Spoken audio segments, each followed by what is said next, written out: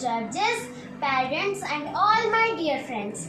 My name is Swagatika Nayak, a student of class 5, 6, and C. I am studying in DAV Public School Unit 8, Bhubaneswar.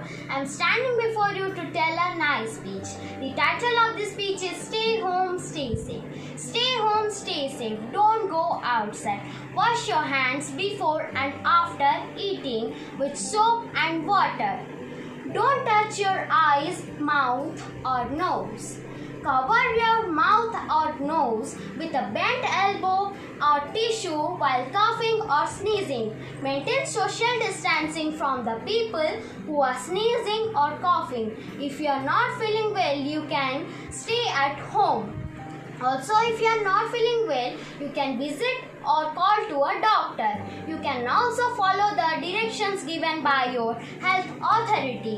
Wash the fruits and vegetables with turmeric powder.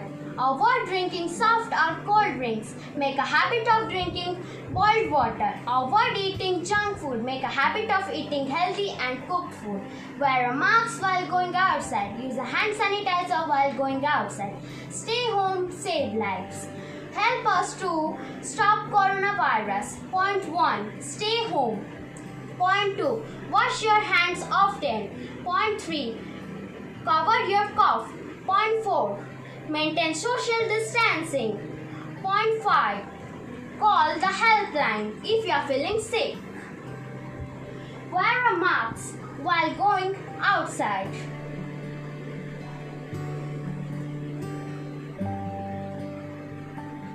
It will help you to defeat coronavirus. Use a hand sanitizer while going outside.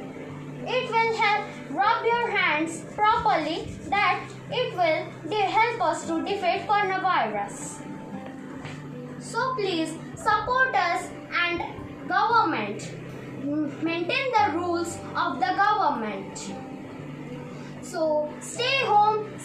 Spend your quality time with your friends, relatives and family members. Jai Hind. Thank you and have a nice day ahead.